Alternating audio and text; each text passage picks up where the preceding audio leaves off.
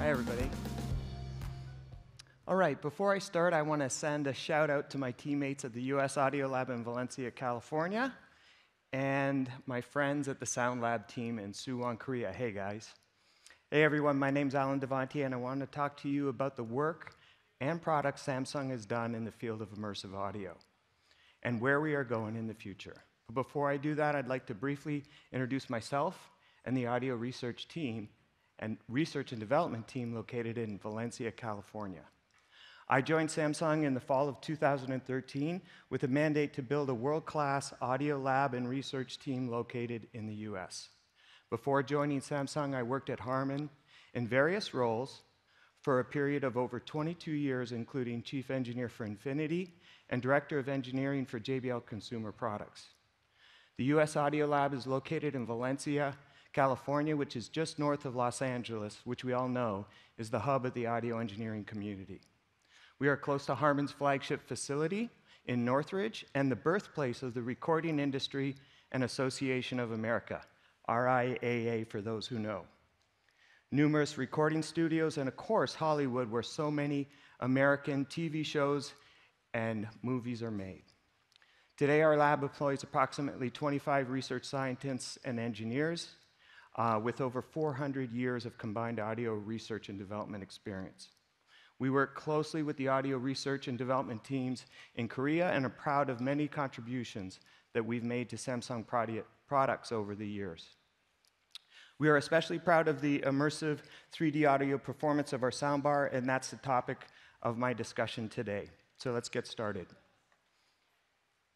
I'll start by talking about the world's first immersive soundbar, which Samsung launched in the spring of 2016. Next, I will discuss a major enhancement that happened in 2018. We adopted a true 7.1.4 speaker format in the N950 soundbar. In 2020, we launched the world's first soundbar subwoofer with fully autonomous EQ, which required no user intervention other than launching the routine from the easy to use UI.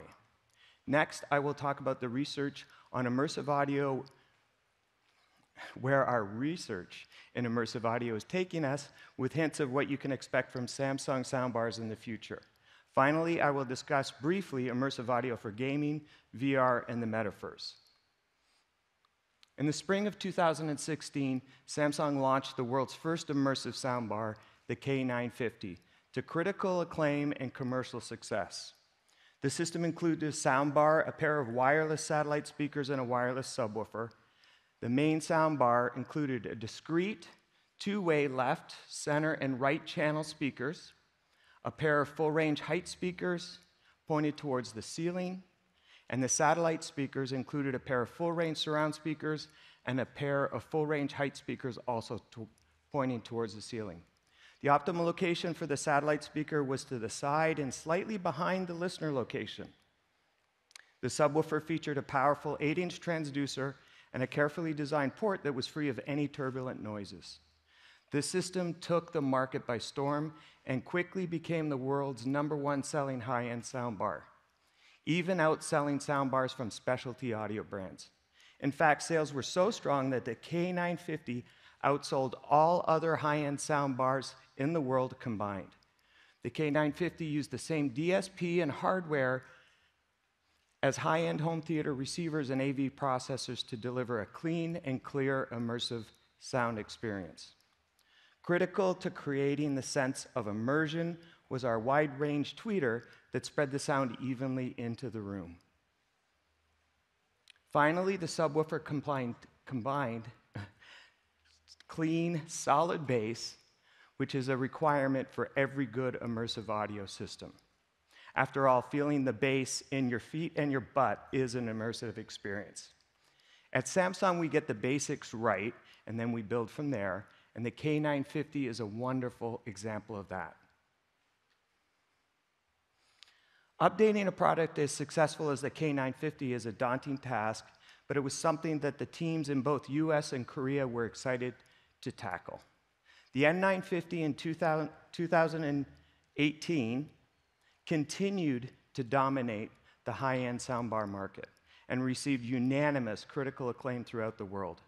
By this time, Samsung had proven its capability to deliver world-class sound in a compact and easy-to-use package.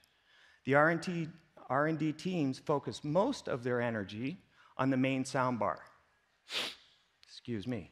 Like the K950, the N950 had a two-way left, center, and right speakers and a pair of full-range height speakers. New to the main left, center, and right channels was a mid-bass driver that was capable of more low-frequency content than the previous model. This meant that the soundbar reproduced all the voice content found in modern music and movies, making the speech and vocals sound much more clear and natural. The main channel also in included a new wide range tweeter with improved high frequency performance, which is critical to a sense of immersion. The main improvement, however, was the addition of a pair of surround speakers mounted to the side of the soundbar. This made the N950 a true 7.1.4 speaker system. Samsung did this at a time when most of our competitors were introducing virtual channels, which offered significantly less immersive experience. Key to key to the critical acclaim and commercial success of the product was the immersive waveguide used on the four height speakers, which focused the high frequency energy toward the ceiling. So the sound could bounce off the ceiling and combine naturally with the main channels to achieve a sense of immersion that no one thought was possible from a soundbar and a pair of small satellite speakers.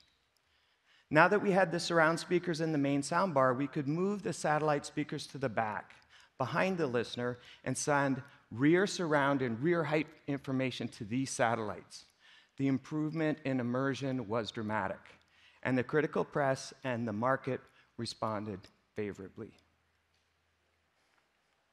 So in 2020, Samsung launched the Q950A soundbar. This sound system featured the world's first autonomous auto EQ system. Unlike competing products that asked a customer to wave a phone around the listening area or fumble a, with a microphone, our solution used a microphone mounted in the subwoofer, close to the woofer and port, that accurately calculates the average response of the subwoofer in the entire room. Improvements to the main soundbar and satellites were implemented as well. An additional pair of speakers were added to the soundbar to widen the front stage, and a pair of side speakers were added to the satellites. The side, side surround channel sent was sent both to the soundbar and the surrounds, creating a center image to the side, of the listener. Again, at a time when competitors were using more and more virtual channels, Samsung was using multiple speakers to create a significantly better immersive experience. So, what does the future hold for soundbars and immersive audio at Samsung? like everything else nowadays, the answer lies in AI. Our research teams are working on AI routines that improve the immersive performance while making the system adapt to less than ideal room acoustics and speaker locations. First, we can use AI to accurately predict the response of every speaker in the system over the listening area. That means we can perform auto EQ on more than just the subwoofer. Next, we can use AI and our unique simultaneous deconvolution technology to estimate the location of the speakers in the room, and even the listener and the TV. Finally, using this data, we can remix the sound amongst all the, all the audio channels if one or more of the speakers are poorly located. I will talk briefly about all three of these ideas over the next few slides. So, we use a combination of traditional and AI technologies to perform full range auto EQ on all the speakers in the system. First, we place, we place three microphones in the soundbar, one near the center channel tweeter, and one at each side of the soundbar, strategically located near the front speakers, the side firing speakers, and the height speakers. We also strategically place a microphone in each satellite speaker between the rear and side and height channel transducers. Finally, a microphone is mounted in the subwoofer near the port and the woofer. We then energize each speaker in the system with the simultaneous deconvolution sweep which sounds like this.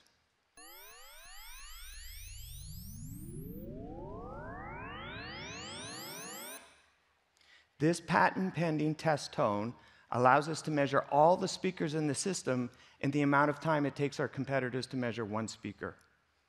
It also sounds much cooler than sweeps or noise measurements. The microphones in the system capture the near field response of the speakers close to the mics, and the mics in the far field, close, to the, close to the mics, and the far field response of speakers that are further away. Each response is calibrated to account for the mic's response, mic's response, and then the response at the listening location of each speaker is estimated using weighting functions that are determined by AI with 2.5 dB of accuracy and a 95% confidence interval. In other words, all the mics in the system are used to estimate the response at the speakers at the listening location using artificial intelligence. It goes without saying, keys aspects of this technique are protected by several patent, uh, pat patents that are pending. This voice matching auto EQ ensures that each channel in the immersive audio system sounds the same at the listening location, which is an important first step towards immersive 3D audio performance.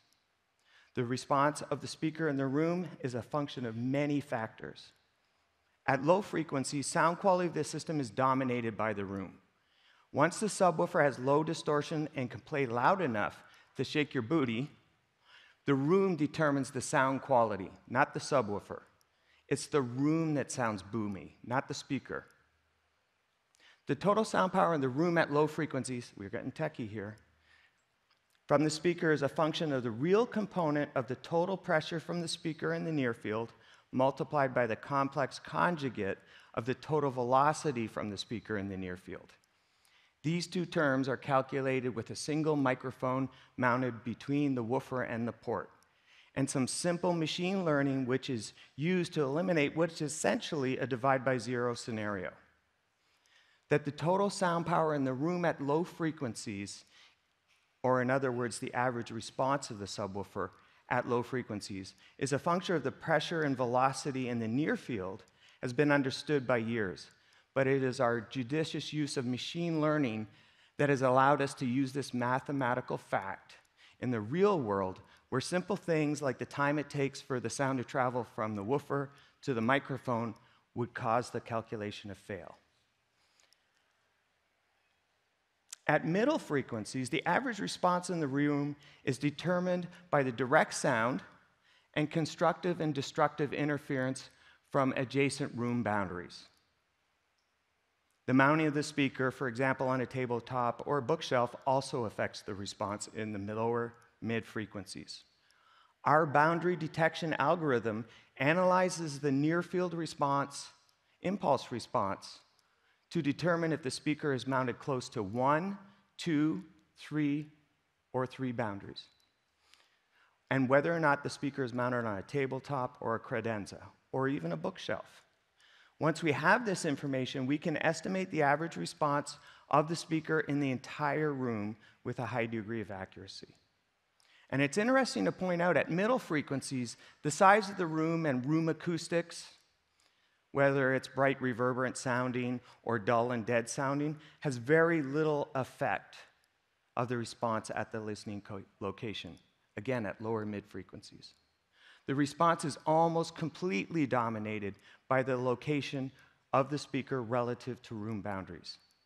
If the speaker is sufficiently far from the room boundaries, then it has no effect at all. And this is why ardent audiophiles often mount their speakers on stands several feet away from the walls. That works great for them, but it's really not practical for a sound system that needs to fit in the average person's home. Now that we have a good estimate of the average response over the entire room at middle and low frequencies from the near field microphones, we can use a neural network to combine the results from the far field microphones, the microphones in the other speakers, to predict the average response at the listening area. At the highest frequencies, I, our AI algorithm is smart enough to use the microphones from the other speakers, i.e., not the near field microphones, to determine if the room is too dull or too bright too dull or too bright sounding, and use that information to adjust the response on the top end. It bears repeating, using all of these methods, uh, methods in combination, we can predict the average response of the speaker within 2.5 dB accuracy 95% of the time. Using AI and the results of the simultaneous deconvolution sweep, we can estimate the location of each speaker in the system and even the location of the listening area and TV with an accuracy of 13 centimeters 95% of the time. Location accuracy can further be improved by using a phone at the listening area. It should be noted that we won't use this phone for any EQ purposes, but just for location detection. Once the location of the TV, speakers, and listening area are estimated, the level and delay of each speaker can be optimized to further improve the 3D immersive experience. At Samsung, we understand that customers cannot always place the speakers at an ideal location. After all, not too many customers have a perfect room or setup similar to the state of the art Onyx cinema system that's pictured here. And this is where the true power of AI can really improve the immersive audio system. Once the speakers have been voice matched using auto EQ and the level and delay of each speaker has been optimized, we can use AI estimation routine to determine if, if we need to remix the sound for speakers that are in less than ideal locations. This process is called rendering, and AI may even uh, help us there do a better job. We're just restarting our research in this area, but the preliminary results are very, very encouraging. The, the, audio research teams at Samsung are well aware of the trends that are happening in gaming, virtual reality, and the metaverse. And our flagship soundbars are already well equipped for a satisfying immersive audio gaming experience. Our current flagship soundbar, the HWQ990B, has only 13 milliseconds of latency when measured with the HDMI input. And we are working on new low latency wireless systems and audio codecs that will further improve the performance of our immersive audio ecosystems. Finally, when most people think about VR and the metaverse, they envision goggles and a pair of headphones. And while these are fun for a while, wearing such gear can be tiring on both the body and the brain. Our, immerse, our experience in immersive audio and large format displays puts Samsung in a unique position to prepare for these trends in a different way. Our research in this area is in its infancy, but I can tell you this I have particular interest in this area, and I'm confident that Samsung will be a leader in VR and the metaverse in a way that goes just beyond bulky goggles and heavy, head, heavy headphones. Making the world's best 3D audio experience starts with great woofers and tweeters, a solid understanding of waveguides, and how loudspeakers interact with rooms. After that, digital signal processing can be used carefully to correct for room acoustics and loudspeaker location. Only then can AI help us take the next step in immersive 3D audio. But I want to remind everybody that a computer,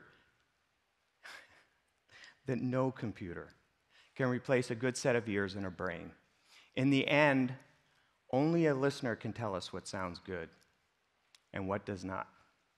As we continue to do more and more advanced technology to deliver 3D immersive audio, let me assure you that the ultimate judge of how well we've done our job is by human ears and not graphs on a piece of paper or a mystical AI algorithm running on a chip.